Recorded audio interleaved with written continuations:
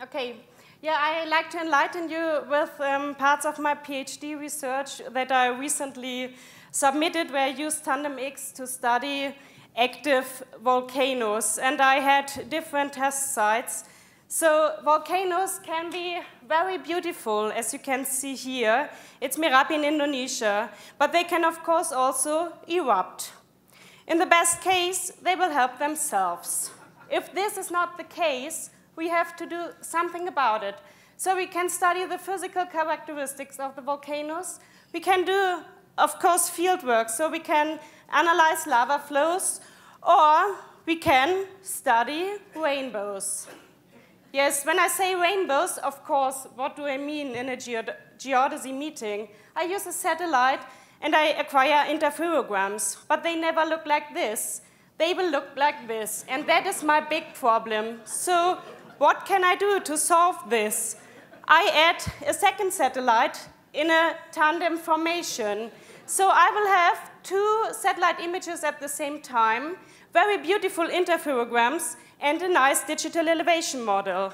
So if I do this several times, um, I will have several images that I can use to generate a couple of interferograms that can further be used to generate a couple of digital elevation models that I can use then. So I have my pre-eruption digital elevation model, and I difference it with the post-eruption digital elevation model, and I result in the topographic change that happened in between, here in form of a lava flow. It is uh, shown for Tolbachik volcano in Kamchatka that erupted in 2012-13 for about nine months, and very fluid basaltic lava flows are fused from a fissure um, of the flows. And I show you here an optical image, um, and you can see why we use radar data, because we have a lot of fume in the data set, so you cannot use optical images all the time, and you cannot use them to calculate volumes, where we are very much interested in. So this is a lava flow that changed over time throughout the nine-month eruption, and I used a couple of TanDEM-X data sets to, to map the flows and um, which, which you can, can see here that are placed on top of each other.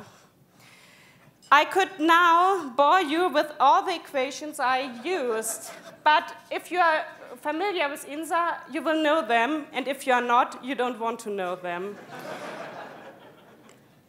Then I could also show you my workflow. I used the pre-eruption DEM used it in the interferometric processing. Um, I resulted in a new reference topography. I used this then for my Zen and post-eruption digital elevation model processing.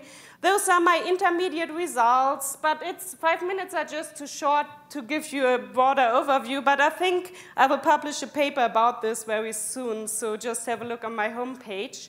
And um, yeah, you can see here the lava flow volume and extrusion rates that um, were measured over time. So this is the lava flow volume compared to auto imagery.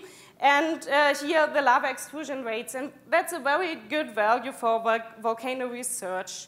But my final volume was 0.53 cubic kilometers. And I really have no idea what this means. How much is this?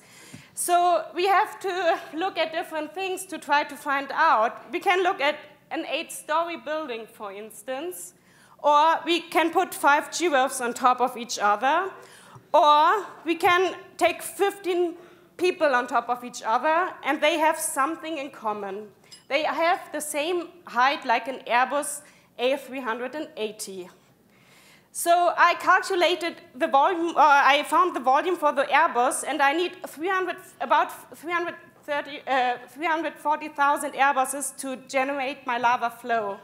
So when you imagine about 30 of those machines are produced per year, the lava flow took nine months to be uh, produced, I would need 11,000 years to produce the same amount of Airbus.